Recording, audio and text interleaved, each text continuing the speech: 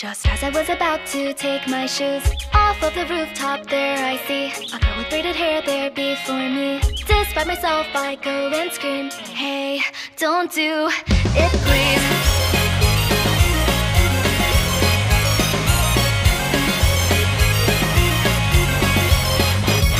Oh, wait a minute, what did I just say? I couldn't care less either